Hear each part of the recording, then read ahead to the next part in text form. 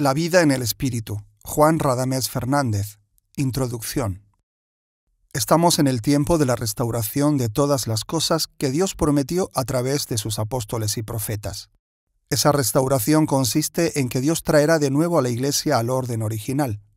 Así corregirá todo lo que está deficiente, edificará las ruinas antiguas y levantará los cimientos de generación y generación. Él está enviando sus mensajeros para que le preparen el camino, porque su gloria se manifestará en esta generación como nunca antes. Hay un mensaje que es necesario dar a voces a la Iglesia, y es que su tiempo es ya cumplido. El Señor está enderezando todo lo que está torcido en su pueblo. Está bajando los montes y subiendo los valles, y sobre todo está secando la flor de la hierba que es la gloria del hombre. Todo lo que obstruye el paso de su gloria e impide que se vea su manifestación será quitado y destruido. El pueblo entendido conocerá el tiempo de su visitación y colaborará con Dios. Llegó el tiempo del pleno entendimiento. Ha llegado la hora de comprender a plenitud la esperanza a la cual hemos sido llamados y las riquezas de la gloria de nuestra herencia. El Espíritu anuncia que llegó el momento en que todo lo que es en parte será quitado. Se terminó el tiempo de recibir las bendiciones de Dios por medidas.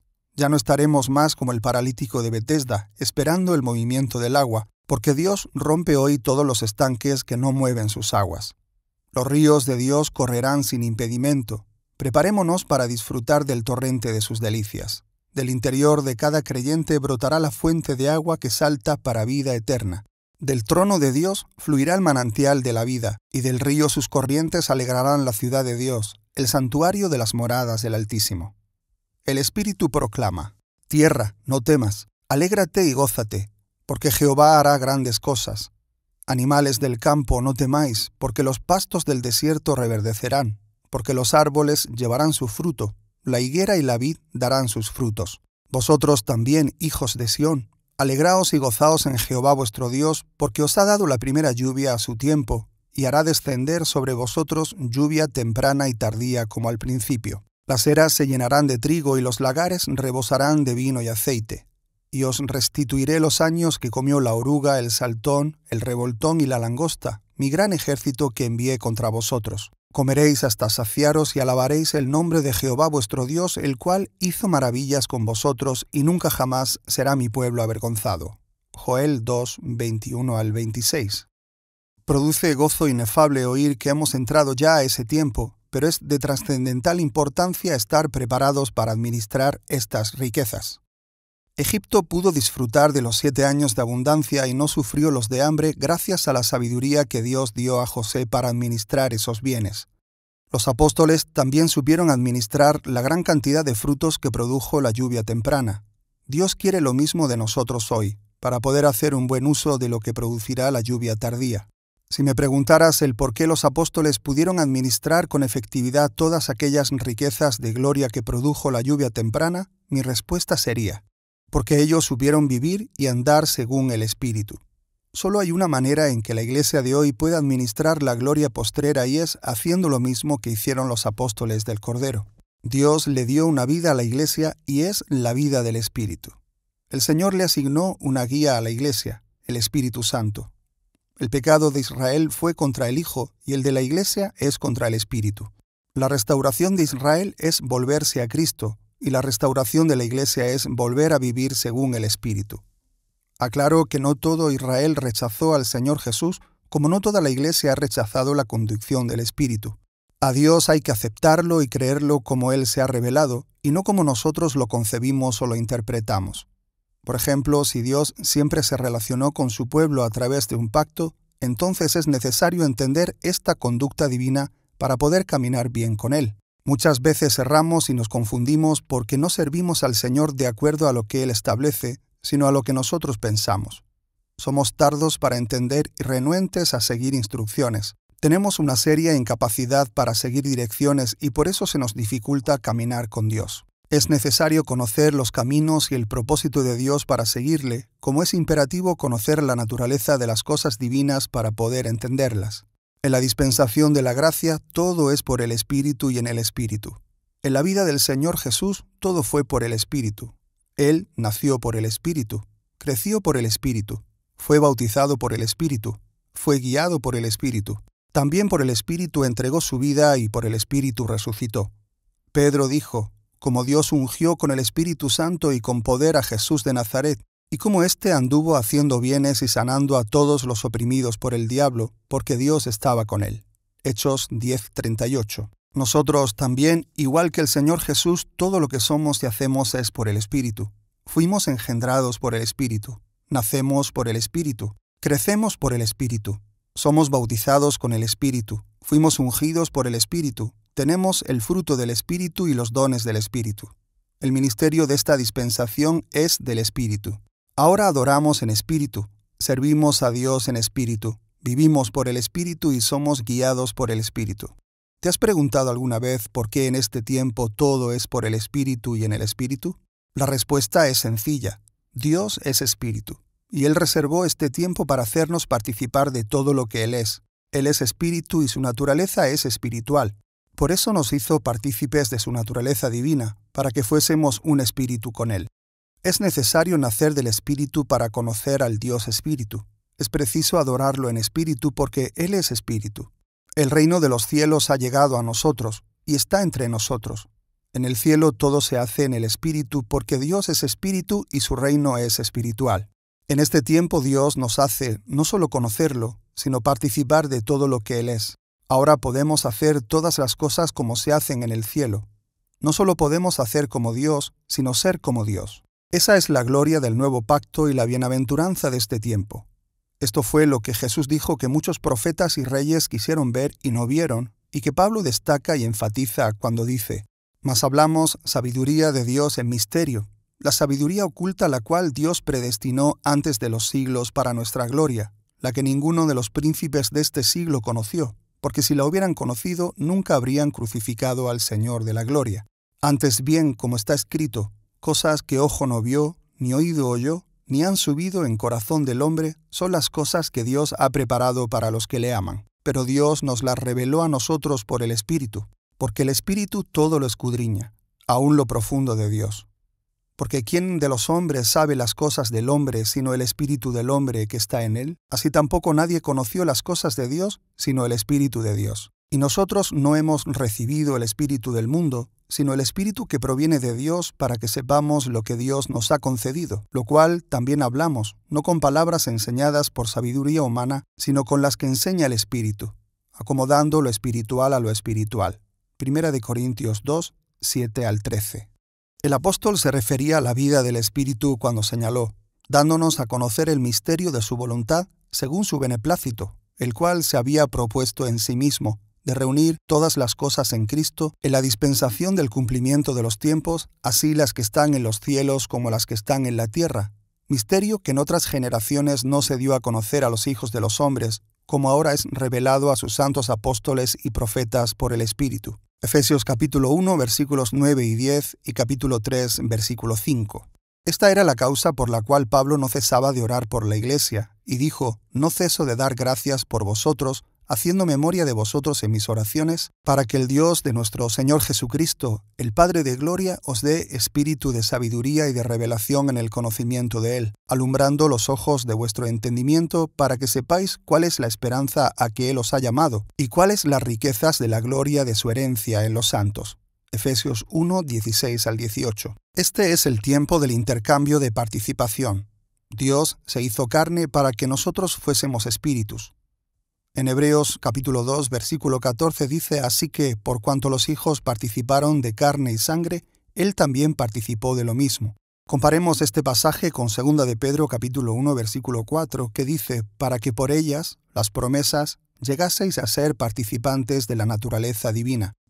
La enseñanza es que el Señor participó de nuestra naturaleza, carne y sangre, y nos ha hecho participar de su naturaleza divina, la cual es espiritual. Pablo, después de definir el fruto del Espíritu y de contrastarlo con las obras de la carne, nos insta, si vivimos por el Espíritu, andemos también por el Espíritu. Gálatas 5:25. Lo que Dios nos quiere decir aquí es, si nacieron del Espíritu, vivan en el Espíritu y por el Espíritu. Se les ha dado una nueva naturaleza espiritual, vivan en esa naturaleza. Háganlo todo conforme al Espíritu. Les di una vida espiritual, vívanla según el Espíritu. Si mi Hijo crucificó en la cruz vuestra naturaleza carnal, fue para que ustedes ya no vivan más según la carne. En cambio, si los hice nacer en el Espíritu, es para que vivan en el Espíritu. Si quieres conocer a Dios, conócelo en el Espíritu. Si deseas entenderlo, entiéndelo en el Espíritu. Si tu anhelo es adorarlo y servirle, hazlo en el Espíritu, porque Dios es Espíritu. Toda nuestra problemática en nuestra relación con Dios es causada porque no entendemos esta verdad. El propósito de este libro consiste justamente en ayudarnos a entender y a vivir la vida según el Espíritu. Para que Dios pueda bendecirte a través de la lectura de esta obra es necesario aclararte algunas cosas y sugerirte otras.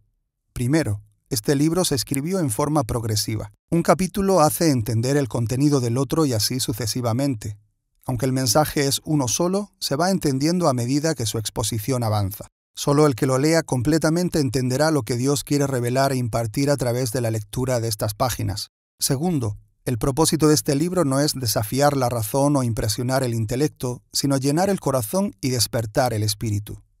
El mensaje está expuesto en una manera personal y directa al lector. Las ilustraciones y las aplicaciones abundan con el propósito de hacer entender en forma práctica lo que Dios quiere enseñar tomando en cuenta que una verdad espiritual puede ser comprendida por la razón sin ser entendida en el espíritu, usamos el recurso de la repetición, con el propósito de facilitar al lector el pleno entendimiento. Es posible que el lector no entienda un aspecto de la verdad en determinado contexto, pero si lo repetimos como ejemplificación o aplicación en otro contexto, puede que lo asimile mejor y finalmente sea edificado. Se dice que la repetición es la madre de la enseñanza, Dios usa mucho el recurso de la repetición para hacer entender y recordar sus verdades. Por ejemplo, Él escribió en el Pentateuco un libro que se llama Deuteronomio, que no es otra cosa sino una repetición de la ley. Dios no escribió una narración del Evangelio, sino cuatro. Los Evangelios sinópticos Mateo, Marcos y Lucas abundan en repeticiones, pero en las mismas se añaden detalles que nos ayudan a entender mejor la narración y el mensaje. El apóstol Pedro dijo, por esto no dejaré de recordaros siempre estas cosas, aunque vosotros las sepáis y estéis confirmados en la verdad presente. Segunda de Pedro 1.12. Las repeticiones en este libro son oraciones y frases de ejemplificaciones bíblicas que son ricas en variedad de aplicaciones. A veces usamos la repetición para enfocar el tema o para unir varios aspectos del mismo, otras veces para grabar con más fuerza ciertas verdades o traer a la memoria lo anterior para así relacionarlo con lo que se expone. Y tercero, el mensaje de este libro está dirigido a ese cuerpo llamado Iglesia, del cual yo soy miembro. Todo lo que es la Iglesia, eso también soy yo, pues no estamos amputados, sino que pertenecemos a la familia de los redimidos de Dios. Así que no hablo de la Iglesia como algo separado de mí, ni me refiero a ella como ellos, sino como nosotros. Si la Iglesia cae en deshonra, yo soy parte de esa deshonra, y de la misma manera, si la Iglesia es honrada, yo recibo también de esa honra. Igual que Moisés, antes he escogido ser maltratado con el pueblo de Dios que gozar de los deleites temporales del pecado. Como miembro de la familia de la Iglesia tengo deberes y privilegios, por ejemplo, el deber de velar por el bienestar de todos mis hermanos, más aún, siendo un pastor del rebaño, debo apacentar las ovejas del Señor. Confieso que el Señor ha puesto un amor indecible en mí y una carga muy pesada por todo lo que es la Iglesia de Cristo en las naciones. Ese amor me ha costado muchas lágrimas y mucho tiempo de intercesión a favor de la Iglesia, así que me identifico plenamente con sus necesidades y no puedo evitar interesarme por su condición espiritual. Todos los que predicamos la palabra de Dios tenemos la obligación de aplicarla a la vida de los creyentes con el propósito de edificarlos. Este libro contiene muchas enseñanzas aplicadas. A veces tengo que aludir a ciertas prácticas que según mi opinión no representan la voluntad de Dios con su pueblo por lo que si de alguna manera toco algún aspecto de tu credo o de la forma en que practicas la fe, lo hago con mucho respeto y nunca con el ánimo de ofenderte o ridiculizarte, sino de edificarte. Los creyentes tenemos la responsabilidad de corregirnos los unos a los otros con el propósito de perfeccionarnos en todo. Creo que cuando te exhorto me estoy exhortando también a mí, porque somos miembros del mismo cuerpo. La palabra nos insta a amonestarnos los unos a los otros. Miremos algunos ejemplos enseñándoos y exhortándoos unos a otros en toda sabiduría. Colosenses 3:16. Antes exhortaos los unos a los otros cada día entre tanto que se dice hoy, para que ninguno de vosotros endurezca por el engaño del pecado. Hebreos 3:13. A cada ministro Dios le encarece, que prediques la palabra, que instes a tiempo y fuera de tiempo, redarguye, reprende, exhorta con toda paciencia y doctrina. Segunda de Timoteo 4:2. En cambio, a todos los creyentes nos dice, os ruego, hermanos, que soportéis la palabra de exhortación. Hebreos 13:22. Nunca debemos ofendernos cuando somos exhortados en amor y por amor. No debemos recibir la corrección como crítica o ataque, sino cual consejo para crecer en la perfección que es en Cristo Jesús. La madurez es la meta de Dios en la vida de cada nacido de nuevo, y el medio de lograrla es su palabra. Esta es útil para enseñar, para redarguir, para corregir, para instruir en justicia, a fin que el hombre de Dios sea perfecto o enteramente preparado para toda buena obra. Segunda de Timoteo 3, 16 y 17. Observa que para Dios lograr la perfección en nosotros tiene que usar su palabra como instrumento para redarguirnos y corregirnos. El que rechaza la corrección cierra la puerta a la madurez, y el que cierra su oído para no oír la exhortación aborrece el camino de la perfección. Oro al Dios que me ordenó que escribiera estas páginas que use la lectura de este libro para bendecir tu vida y edificarte. El Señor no solo quiere que lo conozcas y le creas, sino también que lo entiendas. Él da gracia a los humildes pero a los altivos mira de lejos. El apóstol Pedro nos aconsejó, desechando pues toda malicia, todo engaño, hipocresía, envidias y todas las detracciones, desead como niños recién nacidos la leche espiritual no adulterada, para que por ella crezcáis para salvación. Primera de Pedro 2, 1 y 2. Como el mensaje que vas a leer en este libro es del Espíritu, te invito a estudiarlo y considerarlo también según el Espíritu. La actitud con la cual entramos a la presencia de Dios determinará cómo saldremos de ella. El espíritu con el cual tratamos lo celestial revela si somos dignos del reino de Dios. La motivación con la cual servimos a Dios manifestará también cuánto nos ha aprovechado su amor. La manera de diferenciar entre lo santo y lo profano medirá cuánto ha crecido su temor en nosotros. Dispón tu corazón y habilita tus oídos, pues la actitud con la cual nos tomamos la leche espiritual determinará cuánto nos aprovechará. Pastor Juan Radamés Fernández, noviembre 2001.